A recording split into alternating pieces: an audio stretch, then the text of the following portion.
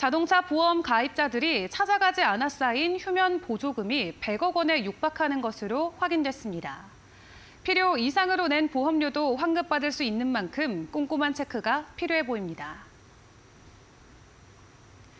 보험개발원이 자체 운영 중인 통합 조회 시스템을 분석한 결과 지난해 말 자동차 보험 휴면 보조금 규모는 전년 대비 38.3% 증가한 98억 3,508만 원으로 확인됐습니다.